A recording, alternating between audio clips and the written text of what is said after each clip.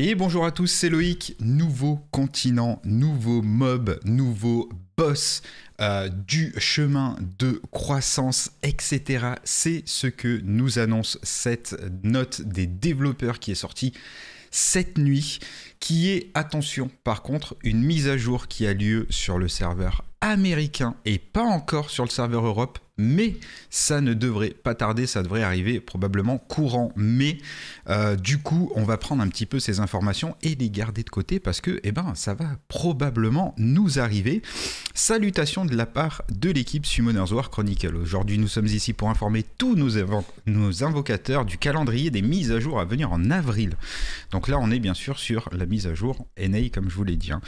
En avril, il y aura deux mises à jour majeures qui fourniront un contenu incroyable, jetant un coup d'œil aux nouvelles qui nous euh, attendent. Mise à jour programmée du 5 avril, donc sur le serveur américain, nouveau continent qui s'appellera Contana, qui est juste magnifique. On va pas se mentir, c'est très très beau. Contana, le pays des anciens, arrive dans Chronicle. Contana présente un nouvel environnement et de nouveaux personnages qui n'ont jamais été vus auparavant et conclut le voyage de la garde Raïd à la poursuite de Tefo, Tefo, qui était en possession de l'œil d'Argas. Au fur et à mesure que Contana est ajouté, des contenus tels que l'exploration de zones et les demandes répétées seront également ajoutés. Pour l'exploration de zones, c'est plutôt une bonne nouvelle on aura peut-être enfin une exploration euh, feu digne de ce nom, puisque bon, pour l'instant, on peut farm que des fruits et c'est pas ouf. du coup, Nouveau boss de terrain, Tyra apparaîtra également. Lorsque Tyra apparaîtra, un événement intéressant se produira sur le terrain. Alors rassurez-vous de participer à la bataille euh, de Field Boss. Euh, pour célébrer l'ajout de Contana, une variété d'événements attendront également nos invocateurs et l'une des récompenses de l'événement est une transmogrification féerique 3 étoiles, donc une transmo sur la fée qui est un 3 euh, étoiles natif. Euh, franchement, plutôt sympathique. Alors, c'est très dans ce style un peu euh, Pocahontas, bohème, là, la, nouvelle map. C'est vraiment sympa. Les skins sont plutôt beaux. Après, la fée, c'est pas un personnage qu'on joue, donc bon, mais à côté de ça, c'est vrai que plutôt, c'est plutôt bien fini. Extension des compétences d'invocateur. Oui, oui, oui, oui. Extension des compétences d'invocateur. Une compétence d'invocateur sera ajoutée à chacun des attributs au feu vent. Alors là, il y a une petite erreur.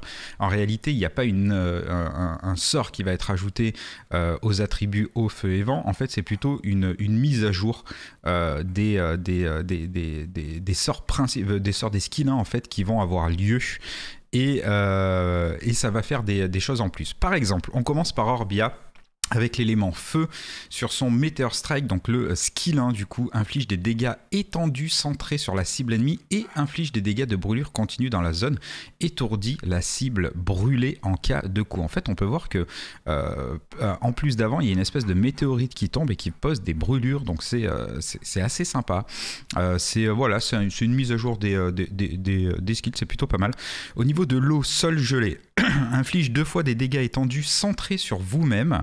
Donc une AOE autour de nous, hein, on va le voir juste ici. Hop, elle vient de le faire. Inflige une réduction du mouvement et un recul au premier coup et immobilise l'ennemi avec une certaine probabilité au deuxième coup. Ça, c'est quand même très intéressant, notamment en PVP. Elle va pouvoir se protéger un petit peu mieux parce que si elle se fait focus, elle se fait quand même assez vite euh, défoncer. Euh, là, clairement, euh, voilà, c'est tout ce qui est cliff, tout ça. Euh, ça, va, ça va se faire repousser, donc c'est assez intéressant. Au niveau du vent sur euh, Tornade, euh, du coup c'est aussi le skill 1, hein, c'est tout le temps skill 1, inflige trois fois des dégâts centrés sur la cible ennemie et la tornade se déplace pendant un certain temps, infligeant également des dégâts aux ennemis proches. Inflige des dégâts de choc supplémentaires et si la cible a plus qu'un certain nombre d'affaiblissements, des dégâts supplémentaires qui pénètrent la défense seront infligés. Donc un gros up euh, de dégâts à ce niveau-là. Euh, des dégâts de choc qui augmentent. Si la cible a pas mal de debuffs, ça va en plus pénétrer sa défense et faire du coup plus de dégâts. Euh, une, mise à jour assez sympathique sur la Orbe avant. Kina, au niveau de l'élément feu, bénédiction de la fée applique des soins continue tout en accumulant trois fois de l'énergie de feu sur vous-même et accorde récupération et accélération, réduction du temps de recharge des compétences aux monstres invoqués. Franchement, c'est très très fort, on va pas se mentir. C'est vraiment très sympathique, un espèce de, de buff qui va réduire le temps de recharge des compétences des monstres invoqués. C'est très très fort. Hein. Là, pour le coup, euh, chapeau. Au niveau de l'élément eau, jour de neige applique 3 piles d'énergie. Alors, petit, euh, petite parenthèse, là on peut voir que c'est le skill 2 qui est up, euh, enfin qui, qui, subit une mise à jour et pas le skill 1. Donc du coup, jour de neige sur l'eau. Applique 3 piles d'énergie de l'eau sur vous-même tout en infligeant une réduction de la vitesse de déplacement et de la vitesse d'attaque à la cible ennemie. Soigne les alliés et augmente considérablement la vitesse d'attaque et les chances de toucher des coéquipiers avec une vitesse d'attaque élevée. Alors un c'est pas mal, mais c'est vraiment euh, très très fort sur euh, euh, quand on joue des monstres qui, qui, qui stack sur la vitesse d'attaque et quand on joue contre des monstres qui stack sur la vitesse d'attaque. Sinon, c'est quand même un peu, un peu, un peu has-been. Au niveau du vent sanctuaire de la vie, soignez les alliés tout en accumulant l'énergie du vent sur vous trois fois. Si la cible de soin est un invocateur, la quantité de soins est augmentée. Ça c'est vraiment pas mal. Augmente le taux de précision des alliés euh, centré sur vous-même, donc on voit que c'est une zone autour de nous-mêmes, hein, et accorde l'immunité aux coéquipiers dont les PV dépassent un certain pourcentage. Ça, c'est vraiment très très fort pour le coup, vraiment pas mal. On passe à Cliff. Sur euh, son euh, élément feu blaze, inflige des dégâts et un effet de brûlure aux ennemis devant vous. Et si la cible est une créature, les dégâts critiques reçus augmentent. Si vous avez du heal over time, donc des, des, c'est exactement ça. Hein. Euh, c'est les soins en fait posés qui donnent toutes les 30 secondes du soin en fait tout simplement. Vous pouvez faire taire les ennemis. Alors ça c'est très très intéressant si vous avez si vous avez une, une, hotte du coup sur vous, un heal sur le temps, vous allez euh, silence les ennemis en face de vous. Ça c'est vraiment très très fort pour le coup. Euh, on apprécie pas mal. Au niveau du cliff eau, s'octroie l'énergie de l'eau, réduit les dégâts infligés par les ennemis environnants et gèle les ennemis avec une puissance d'attaque réduite euh, avec une certaine probabilité. Tout en possédant l'énergie de l'eau, il y a une certaine chance de geler les ennemis qui vous frappent. Très intéressant du contrôle, bien sûr. Donc euh, l'eau qui va devenir sur, euh, sur les différents persos assez intéressant en termes de PVP. Hein. c'est vrai que on jouait beaucoup du dark et du light. C'est vrai que là, les éléments deviennent un peu plus intéressants. En termes de vent, vent boomerang inflige des dégâts aux ennemis devant vous et augmente instantanément votre défense. Donc un petit euh, du nombre de coups, votre défense du nombre de coups. Après cela, des dégâts supplémentaires sont infligés proportionnellement à la défense. Et si la cible est une créature, les dégâts finaux sont augmentés. Si votre défense est supérieure à un certain niveau, un bouclier est appliqué aux alliés proches, à l'exception de vous-même. Donc de la tankiness, les amis, très très intéressant, clairement. Euh, déjà le vent qui est très très fort hein, sur et là, on a un petit up. Voilà pour les changements sur les trois personnages. Euh, hâte de voir ce que ça va donner parce que ben, ça va donner un, petit, euh, un petit coup de, un petit rafraîchissement en fait hein, à tout ça et ça c'est ça c'est vraiment sympa quoi. On passe à la suite. Extension du chemin de l'aventure. Donc je vous en ai, parlé au début. Deux niveaux de mode difficiles seront ajoutés à Pass of euh, Adventure. Donc du coup le, le, chemin de croissance.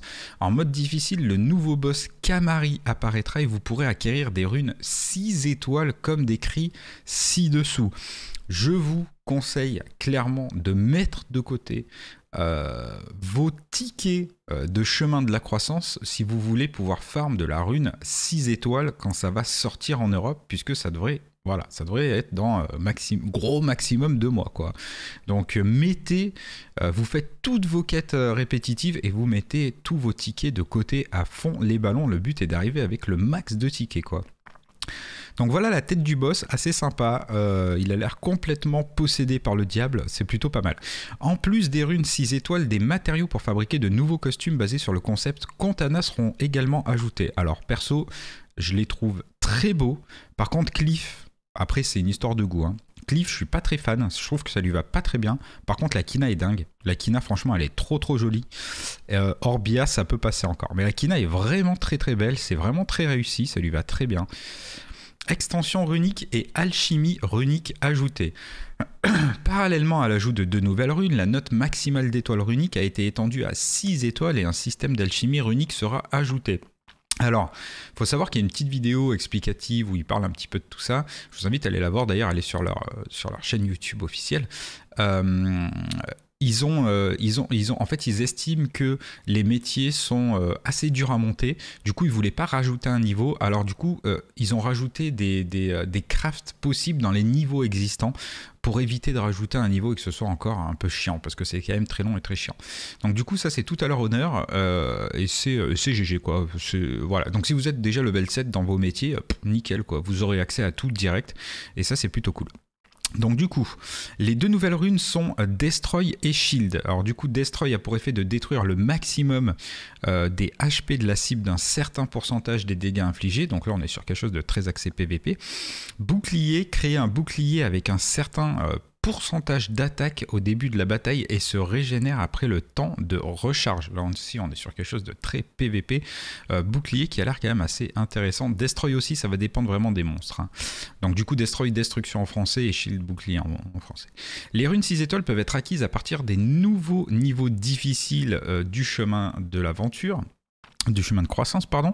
Donc les invocateurs qui veulent être plus puissants devraient essayer la nouvelle difficulté. Alors à voir un petit peu le niveau que ça va être, le, le, power qu'il faudra euh, pour accéder à ce genre de, contenu.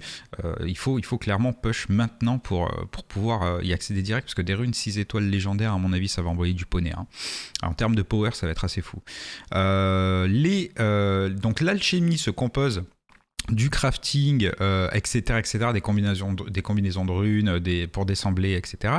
Euh, la fabrication de runes crée les runes souhaitées en rassemblant des matériaux, remplace, remplace la fabrication de runes qui était dans l'alchimie. La succession de runes, une partie des runes améliorées au maximum des pierres à effet appliqué et des pierres magiques peut être transférée vers une rune légendaire 6. Très très intéressant. On va pouvoir récupérer euh, des, euh, des, pierres euh, d'effet en fait et les transférer sur nos runes 6 étoiles. Ça c'est très intéressant.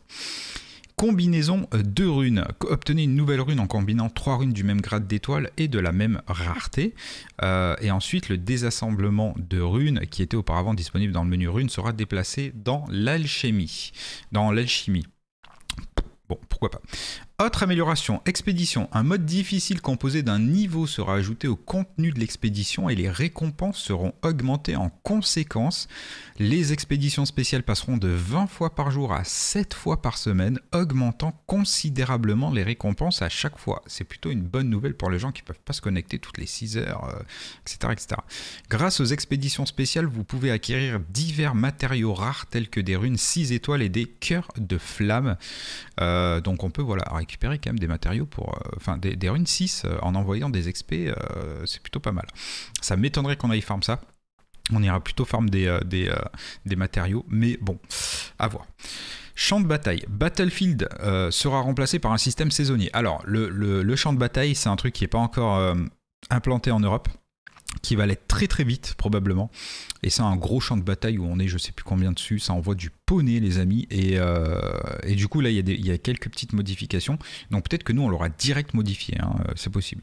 Au fur et à mesure que la saison avance sur une base hebdomadaire, les classements seront calculés en fonction de la saison. À la fin de la saison, selon votre rang, vous serez récompensé par des Skystones et des cristaux. De plus, des rangs spéciaux seront accordés aux invocateurs qui atteignent le rang le plus élevé jusqu'à la fin de la prochaine saison. De plus, vous pouvez vérifier les détails de l'équipe adverse et vous pouvez également vérifier si vous faites partie ou non d'un groupe. Ok. Les ruines de Galagos. Les ruines de Galagos seront améliorées. Alors ça c'est pareil, c'est un raid qu'on n'a pas encore nous, mais qui devrait pas tarder. Euh, seront améliorés afin que vous puissiez choisir votre, vos propres restrictions sur les invocateurs, les monstres et les créatures, à l'exception de la formation d'équipe dans l'ordre magique. Plus la difficulté de l'ordre que vous choisissez est élevée, plus les récompenses sont importantes. Donc on pourra apparemment euh, jauger la, la difficulté avant de lancer, c'est plutôt cool. Rassemblement.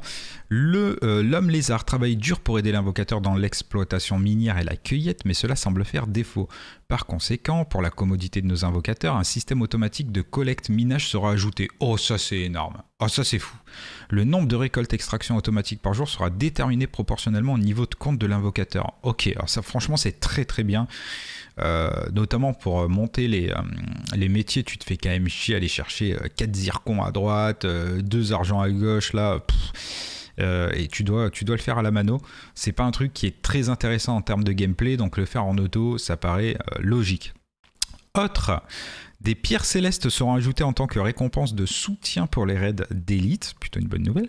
Des améliorations seront apportées afin que l'attribut d'arme de l'invocateur puisse être modifié sur l'écran de formation de l'équipe de monstres. Parce qu'actuellement on est obligé de cliquer sur la petite loupe et ensuite de, laisser cliquer sur, euh, sur l'arme pour changer euh, l'arme d'invocateur. Maintenant ce sera direct, ça c'est plutôt cool.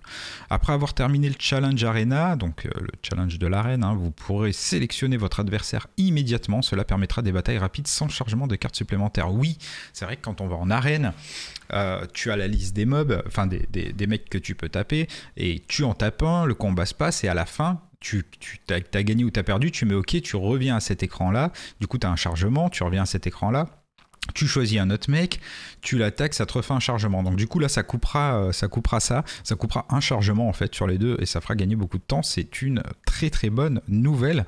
Je suis assez impressionné comme ils améliorent le jeu, tu vois qu'ils sont vraiment très investis et c'est euh, top. Franchement ça donne grave envie de, jouer quoi. Autre, euh, après avoir terminé l'arena, ah ben ça je, l'ai déjà lu, donc on va pas hein, on va pas perdre de temps. Mise à jour programmée du 19. Donc au début il l'avait dit, il y avait deux mises à jour euh, dans le mois pour le serveur US. D'ailleurs, je vous le rappelle, cette mise à jour est une mise à jour qui aura lieu sur le serveur américain. Pour l'instant, elle n'est pas en Europe, mais c'est bien sûr le contenu qui va arriver en Europe incessamment, sous peu, probablement en mai. Donc du coup, euh, parce que le but en fait, c'est qu'ils équilibrent les serveurs. Et euh, du coup, ça arrivera probablement en mai, donc on peut prendre l'information et se préparer, bien sûr. Mise à jour du 19, du coup, euh, ONA, ville de guilde. Oui, une ville de guilde sera ajoutée où les membres de la guilde pourront se rassembler et participer à diverses fonctionnalités pratiques liées à la guilde. Lorsque vous atteignez le niveau de guilde 5, l'entrée de la ville de guilde sera activée et vous pourrez vous y rendre depuis le menu d'accueil de la guilde. Dans la ville de guilde, vous pouvez utiliser la source chaude, le lieu de pêche et l'explorateur ainsi que d'autres fonctions liées à la guilde. Donc plutôt sympa.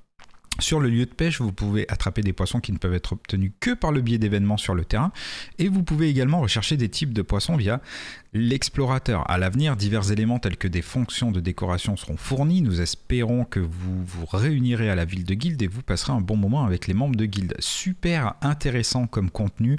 Euh, en plus de ça, on va pouvoir farm des poissons qui sont, euh, qui sont assez durs à farmer, à part dans l'exploration, mais bon, t'as pas forcément envie de, de farm du poisson, quoi. Donc c'est plutôt une très très bonne nouvelle. En tout cas, je trouve ça plutôt joli. Et puis le fait qu'après, on va pouvoir personnaliser un petit peu sa ville de guild, c'est vraiment cool. Alors, ce sera probablement peut-être un petit peu monétisé ou alors ce sera du gros farming, mais, euh, mais voilà, tu peux mettre ta petite touche, tu vois, et ça, c'est vraiment pas mal. Valérie Damido valide ce contenu. Transmogrification des monstres 5 étoiles filles occultes et 4 étoiles sorcières mystiques. Les nouvelles transmogrifications d'Occult Girl et de Mystic Witch seront basées sur un concept de conte de fées. On n'a pas d'exemple, euh, mais, en tout cas, ce sera, ce sera là. Les points de compétence. Ah oui, partagez des points de compétence au sein de votre compte rien que le titre déjà est sympa. Les points de compétence seront partagés avec tous les personnages de votre compte. Les points de compétence acquis grâce à la mise à niveau seront appliqués en fonction du personnage avec le point de compétence le plus élevé parmi les personnages du compte. Les points acquis à l'aide des livres de compétences seront appliqués à tous les personnages autant que le nombre de points utilisés par compte. Et si les points dépassent les points pouvant être acquis avec le carnet de compétences, le montant excédentaire sera restitué sous forme de carnet de compétences. Ça, c'est super intéressant. Avec ce changement, les ventes de livres de compétences réservés aux personnages vendus dans les magasins Ascension prendront fin et les livres de compétences réservés aux personnages existants seront modifiés pour augmenter les points de compétences, quel que soit l'invocateur lorsqu'il est utilisé. Ça, c'est juste énorme. On va vraiment pouvoir maintenant euh, jouer tous nos personnages parce que quand tu mets un livre de compétences dans un perso, tu l'as pas dans les autres. Et du coup, ben, si tu es parti sur Cliff, par exemple, pour, mon exemple, euh, tu, ben, pour jouer Orbia, pour jouer Kina derrière, c'est compliqué puisque tu, voilà, tu vas maxer ton Cliff. Ben là, ce sera plus le cas, tu pourras jouer le perso que tu veux. Et ça, c'est très intéressant. Autre amélioration, euh, combinaison. Le champ d'application du système de combinaison sera encore élargi. À partir du grade légendaire 5 étoiles ou supérieur, vous pouvez combiner trois équipements pour obtenir un équipement de même niveau et vous obtiendrez le même type d'équipement que le matériel principal. Très intéressant. On va pouvoir garder nos loots et euh, voilà, s'il est si on veut euh, tout simplement le euh, si on a trois loots de merde par exemple si on a trois baguettes vent pourris et eh ben on va pouvoir reset ça, en faire un seul. Alors oui, ça, voilà, il n'y en aura qu'un seul, mais autant on aura des bonnes stats dessus qui nous intéressent. Donc ça, c'est très intéressant. Les pierres de galaxie, les pierres magiques et les pierres à effet peuvent être combinées de la même manière que les gemmes existantes, et comme les gemmes, des grades plus élevés peuvent être obtenus en cas de grand succès.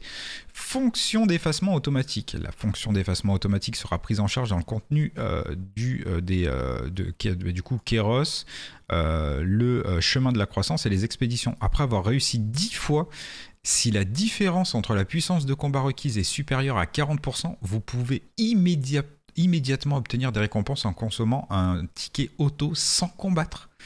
Donc fini le, euh, le, mode auto où tu balances 40 runs, là ce sera auto. Enfin, si tu as, si as assez de puissance, tout ça te fait tes 40 runs euh, direct quoi.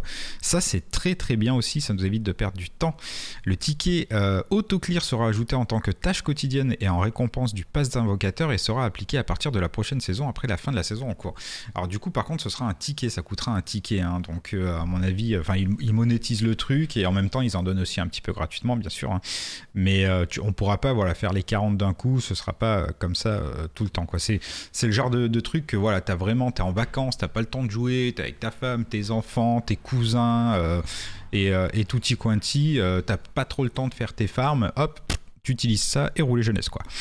Règle de choix d'interdiction de Brawl Arena, donc la RTA. Hein. Les règles de choix d'interdiction de la RTA seront modifiées. Dans le passé, chaque personne sélectionnait 4 types de monstres, puis bannissait un monstre. Désormais, chaque joueur sélectionnera un total de 5 types de monstres. Bannira un des monstres de l'adversaire, puis sélectionnera 3 des 4 euh, monstres restants pour participer. Beaucoup mieux. Stratégiquement, beaucoup plus euh, intéressant. Alors moi, je suis pas très fan de la RTA, mais, euh, mais stratégiquement, beaucoup plus intéressant, on va pas se mentir.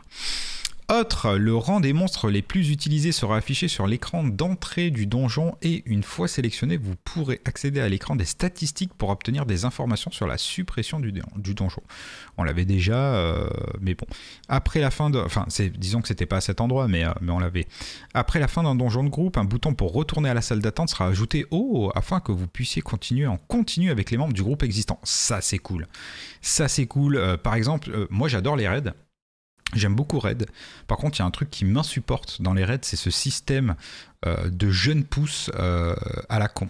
Euh, ce système de jeunes pousses, le problème c'est de, ce système de jeunes pousses, c'est que les mecs, ils cherchent que des jeunes pousses en fait. Sauf que le raid, ça fait je sais pas combien de temps qu'il est sorti maintenant, certains, certains raids en tout cas.